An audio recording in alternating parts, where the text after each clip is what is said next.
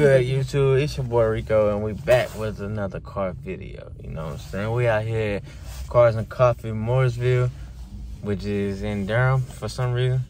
Can you like let go of my hand? Ain't like I'm moving. No. This is the perfect camera angle. Perfect. Look at that sun. That's cute. That's cute. Light skinned boy. But anyways, man, this thing is swole. We pulled in found, we luckily found one part. One. They got fucking four parking lots full of cars. But anyways, man, we out here. Bunch of trucks, cars, everything. But we're gonna walk around for a little bit. We're gonna show y'all what we got out here. Yeah, man. It's like legit lit out here,